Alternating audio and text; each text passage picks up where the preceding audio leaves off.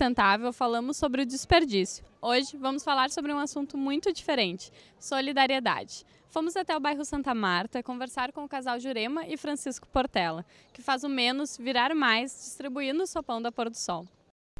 O casal teve a ideia de distribuir um sopão ao ver a necessidade da população da comunidade Santa Marta. Como a gente não ganha muito, né? Depende do, do salário. Ah, daí que nós surgiu uma ideia. Eu digo, mas Francisco, o que, que adianta agora? Tu deu um rancho para uma, uma cesta básica, na época, não era rancho, era cesta básica. Deu para uma e as outras.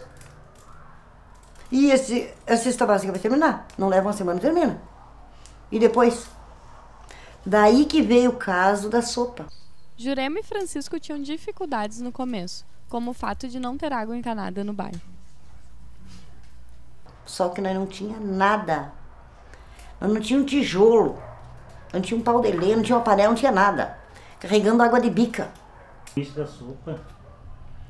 É, eu levantava às quatro da manhã para pegar água, para manter a sopa. Muita gente na bica, todo Porque mundo lá- querendo água. Ali na avenida tinha duas bicas, uma aqui na esquina, aqui do, do, onde vai para o Colégio Marista, outra lá perto do Oliveira. Então era, era, era disputado o espaço. Concorrência. Era disputado o espaço para pegar água. Também tinham dificuldades para aquecer a sopa. Os mais antigos. Não tinha lenha. Sabe da onde que o Francisco foi buscar lenha? Aonde hoje é o Colégio Marista. Nós arrumemos pedra, porque não tinha um tijolo para botar a panela debaixo. E era sem teto mesmo. Nós não tinha nem água, não tinha nada. Apesar das dificuldades, nesses 16 anos, nunca deixaram ninguém sem alimento.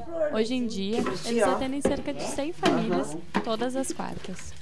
Mesmo que venha alguém, sem a gente saber, a gente verifica quantos filhos tem, é quantos constrói.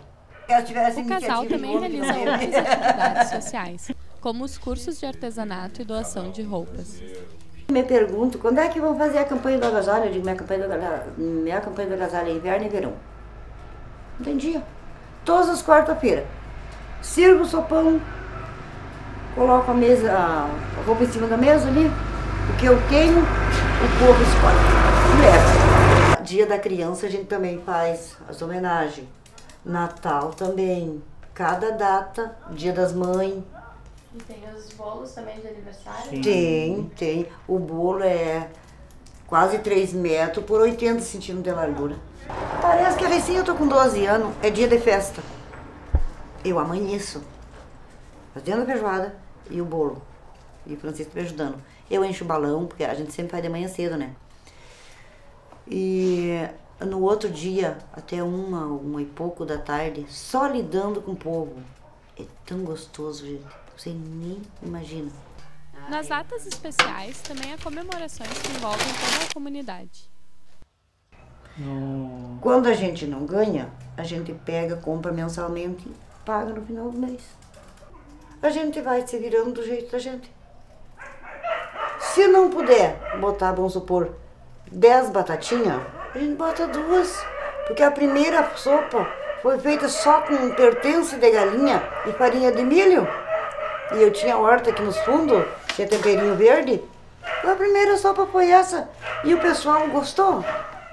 Uma fome, qualquer coisa, a gente gosta. Eu sei porque eu já passei muita fome na minha vida. Uma fome é triste. A gente sempre está precisando que nas quarta-feiras a gente faz a sopa e o que sobra no meio da semana, sempre tem gente que vem pedir, porque só uma refeição por semana não dá. A sopa vem de doações, mas às vezes o casal tem que pagar do próprio salário. Quem quiser ajudar o casal com agasalhos, alimentos ou quantia em dinheiro pode entrar em contato pelo 3213 2307.